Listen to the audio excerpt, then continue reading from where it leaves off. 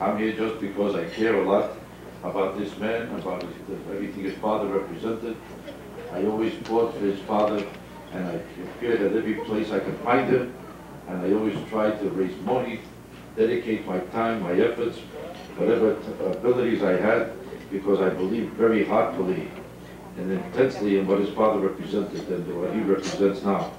I always felt that the greatest problem of the Jews is the Jews themselves. I always felt that the greatest problem of the Jews is the fact that the Jews are cowards by nature. Is there an excuse that right now the Jews in Israel have to be persecuted, have to be killed in the streets, while the while the uh, while the government of Israel keeps telling you a different excuse every day? We're going to get even with them, but not now. We're going to get even with them, but not now, because now we have a peace process. Because Rabin is a coward in his heart, and he has his heart.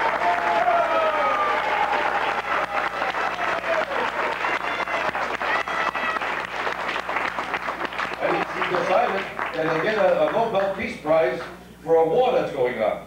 A leader in Israel has to be able to fight for the Jews and stop giving up and tell us that we're being hostile when our lives, when our lives are being lost.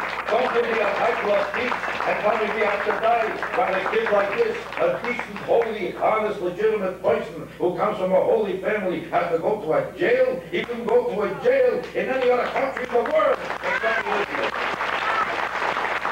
a revolution in this country too. And Clinton for putting him on the list of the, of the spies of the, of the threats to the peace of the world. Clinton himself should be in jail.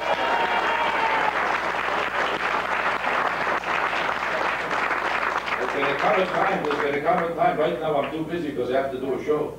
But as soon as I'm finished with this show, I'm gonna start a revolution in this country. And I'm gonna see to it and we're gonna make up a list of all the enemies of Israel and all the enemies of Kahane, and we're gonna make sure that they are wiped out, they are destroyed morally,